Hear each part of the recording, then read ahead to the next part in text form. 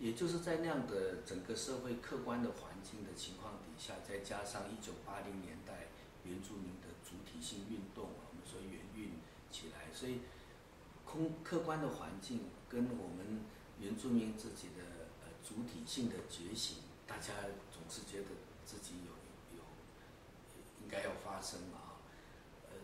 这种主客观的条件都都在，然后再加上因为经过三十年，这些比较受完整教育的汉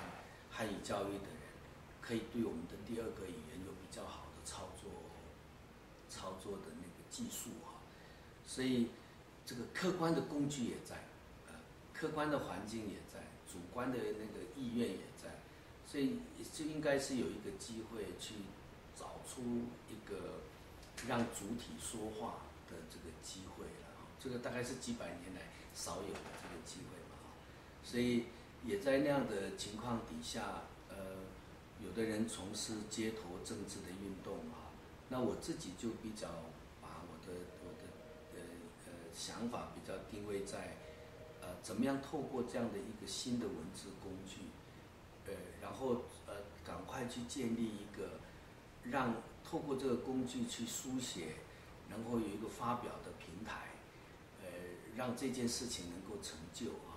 然后让那个原住民的主体想说的东西，透过这样一个有效的工具表达出来，就像以前我们可以用日语跟日本人讲话一样啊。所以那时候就办那个《山海文化杂志》，那时候主要就是，呃，它是文学的，也可以是论述的哈。呃，它它这个论述是等于是在寻找原住民自己的方向啊。啊，文学的就是你抒发你自己的你的经验跟跟你的情感啊。那我一直觉得这个工作，呃呃，最初不完全是为了要，不只是不不完全只是为了要培养文学文学家，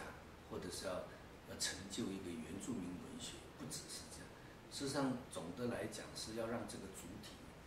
说话、写字，介入台湾的书写世界哈。这个介入本身，我觉得对我们来说是很关键的，就是我们能不能够把那个长期溃败的趋势哈，在在我们能够介入书写的过程当中，把我们的位置、把我们的观点跟我们的感感受能够能够呈现出来，呃，它它实在具有一些文化跟历史战略上的